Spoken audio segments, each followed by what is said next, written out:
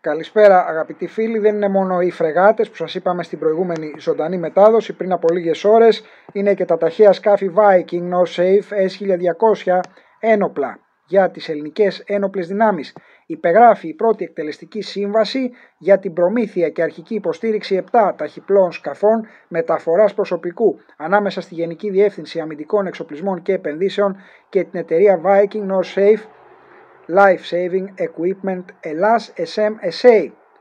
Η πρώτη εκτελεστική σύμβαση, όπως σας είχαμε ενημερώσει τότε από το αγαπημένο σας κανάλι, είναι συνολικής αξίας 2.731.000 ευρώ και η διάρκεια της εκτελεστικής σύμβασης είναι για ένα έτος. Αρχίζει από την υπογραφή και ο τόπος παράδοσης θα είναι το κέντρο, το περίφημο κέντρο ειδικών δυνάμεων και στη Νέα Πέραμο Αττικής.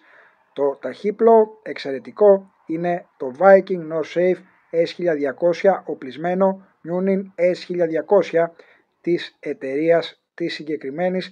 Πολύ σημαντική εξέλιξη. Θέλουμε τις φρεγάτες. Για να κυριαρχούμε στα πεδία θέλουμε τα σκάφη αυτά μεταφοράς προσωπικού ταχύπλοα για τους κομάντος μας. Να είστε όλοι καλά, θερμές ευχαριστίες που μας παρακολουθείτε. Μην ξεχνάτε like και εγγραφή στο κανάλι σας Καλή συνέχεια σε όλους.